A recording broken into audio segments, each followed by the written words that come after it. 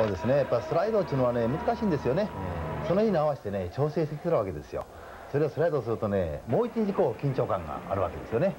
ゲールと金石ですけれどもこれまあ若い金石にとってはちょっと負担かもしれませんね。そうですね。負担だと思いますね。先手を取りましたのはカープです。2回ワンアウトから長島のホームラン。右手でよく引っ張りましたね。よく伸びましたね。伸びますね宇宙が伸びるんですかね、まあ、ゲールはホームランを今日3本打たれるんですがいずれも左バッター。そうなんですね。あのね滑らして振ってるんですよね。左バッターにはね見やすいと思うんですよ。これ3回山崎ですよね。はい。これもそうなんですよね。あの右バッターのね遠めの攻めが多いんですよね、まあ、左バッターの懐入ってくる率が多いんですよね。おまけに滑らせてくるもんですからね。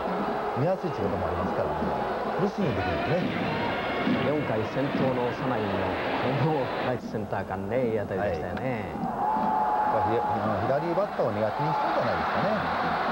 そういう感じを受けますね。その代わりに山本とか衣笠あたりをね、完全そうなんですよね。感情されましたね。これまあ初めからつくつもりなら本まで。そうなんですよ。あのランナーがね、ランナースコーチャーを見なかったんですよね。だからあれもう一気に走ればあの入ったのでね、ホーム彼だと思いますね。長島が歩いて一三塁の後東から三その前にね、あのセーフティースクイズか、カブランテンポか。バントで空振りしたんですよね、はい、あれがなんかあの小細工しすぎじゃないかなという感じを受けましたけどね。達川も三振そして金石も三振と。この三者三振ははい、もうね、はい、今日のゲームでね、えー、これは一番山じゃなかったかなと思いますね。まあ、ピンチの後にチャンスを迎えるタイガースですけれども、この金石がこう左バッターバース掛布あたりを非常に嫌がってましたね、はい、もうね最初からね逃げの口になってましたね、えー、だからもう全てボールなんですよね。ワンスリーになってセンターライト間のツーベースヒット。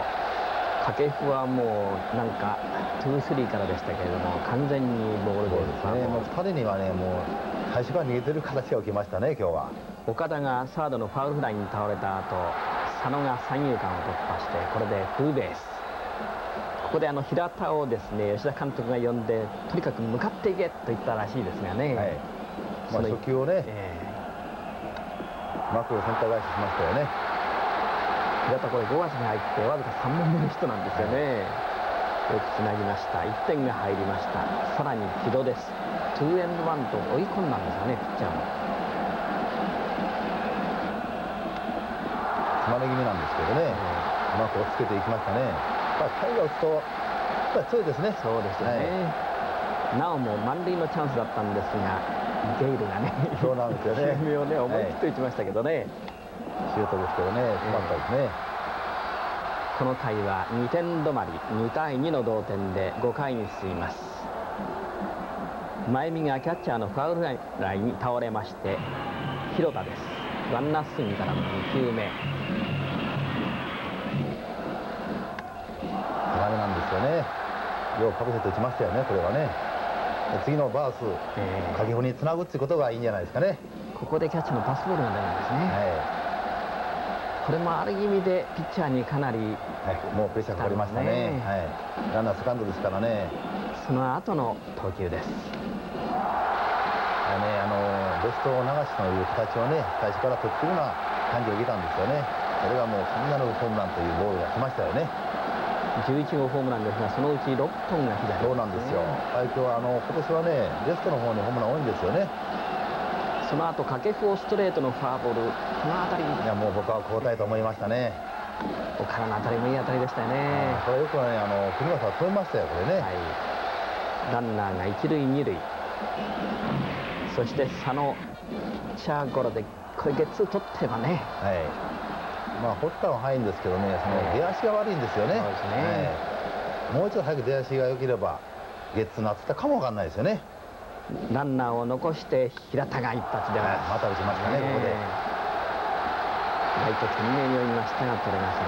今日は平田がね、いい活躍しそうですね。いい勝負しました。これで2者が帰って6対2。ランナーが3塁に残って木戸。ワンナッシングからこれもいい当たりです、はやはりピッチャーの金石としてはこの辺り精神的にかなり動揺してましたよね。動揺してましたね。だから7番、8番が打つとやっぱり強いですよ、これは。好投のゲイルですが7回に山中のヒットピンチヒッター原にフォアボールで一塁二塁そして高橋の一発がここで飛び出しますそれまでね3打席みんな引っ張って失敗してたんですよね、えー、だから今度レストに流しに来たんじゃないですかね。それはもうあちら向きの球が来たということじゃないですかね。これで7対52点差になってね分からないという時にその裏3番手の川口に対して岡田の一発が飛び出します、はい、この一発がもう効きましたね。これカーブなんですけどね、はい、もう本当にホームランボールのカーブなんですよね。この後8回にゲイルがランナーを出したところで山本をリリーフに送ってピシャリッと抑えてゲイルが3勝目。山本が3セーブ。勝利打点バースという、まあ、阪神にとっては会心というようなゲームでしたね。そうですね。